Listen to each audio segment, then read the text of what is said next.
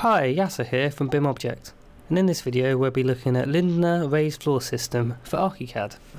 So using the BIM Object plugin, we can browse for Lindner,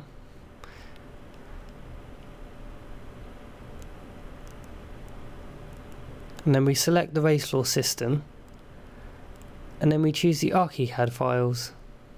These are loaded directly into ArchiCAD, ready for placement.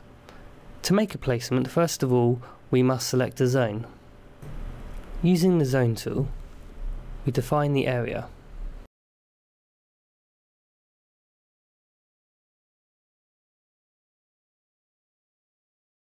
Once defined, we select the zone and we use the Interior Wizard add-on.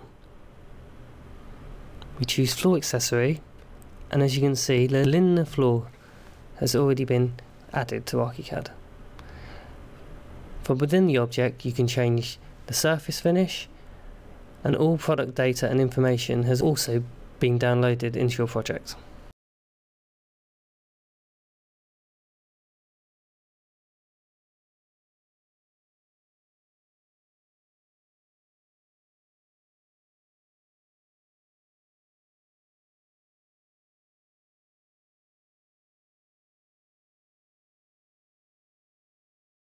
So we'll change views now to the 3D view so we can see the automatic placement of the structure.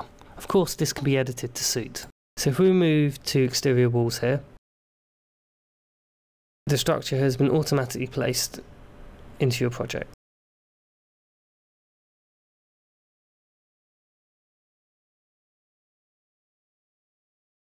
This flooring system is available now for free at bimobject.com.